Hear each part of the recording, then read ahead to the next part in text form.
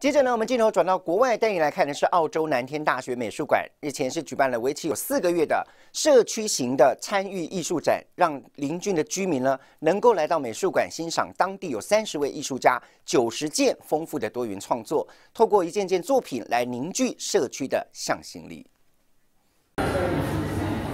在舒适环境静下心来观看好画。澳洲南天大学美术馆社区参与艺术计划在疫情期间举办 Harmony 艺术展，凝聚社区居民，分享和谐力量。因为疫情的关系，所以很多地方的这个呃所谓的展览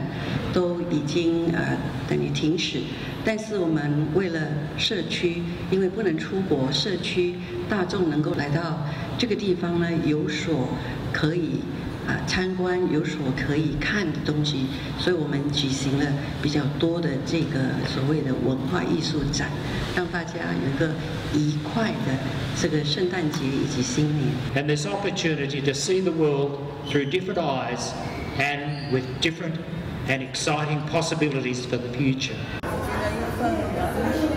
展即日起到明年三月七号，邀请了当地三十位创作者，九十件富有超乎想象力的艺术作品，由艺术家透过亲身体验制作出不同彩色作品，让社区居民亲近艺术，了解和谐意义。人间卫视澳洲雪梨综合报道。